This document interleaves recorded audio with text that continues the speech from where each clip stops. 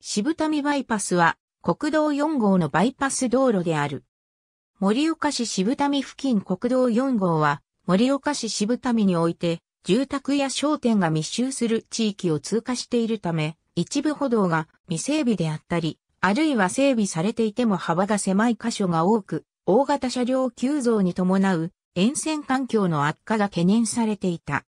さらに、盛岡市役所玉山総合事務所口 T 字路は当時、右折車線がなく、渋滞が慢性化する主要ポイントにも挙げられていた。沿線では、夜間の騒音レベルが、現道全区間で環境基準を超過したほか、交通事故の件数も国道4号の岩手県内の平均死傷事故率を超える区間が12カ所存在するなど、バイパス整備による国道4号現道区間の環境向上は急務であった。このため、建設主体を国土交通省東北地方整備局、岩手河川国道事務所として1986年度より事業着手し、1990年度に用地買収に、1996年度には商業施設などが密集する起点側 2.5km で工事に先行着手した。2004年12月に先行区間が暫定開通してからは残りの終点側 3.1km も埋蔵文化財等を経て工事着手した。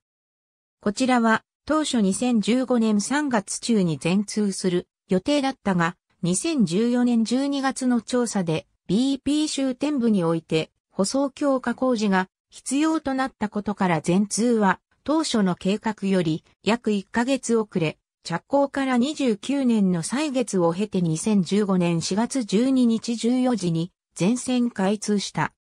岩手河川国道事務所では、全通により、旧道の混雑緩和とともに通過交通を、はじめ車両の移動時間が従前より8分短縮され、物流効率化による経済効果は年間5億円と試算。2016希望協岩手国体開催時には、選手、役員移動時間短縮などの効果も期待されている。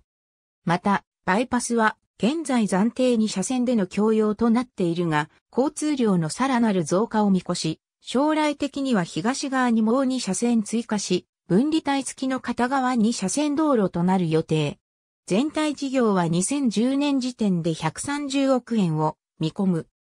なお、渋谷地区と地区画整理事業、サンタウン渋谷造成に合わせて、国道4号原道の渋滞ポイントであった、卓木記念館前交差点は、道路拡幅と右折車線追加工事を実施したが、この工事の完成は皮肉にも、渋谷バイパス部分開通後のことである。ありがとうございます。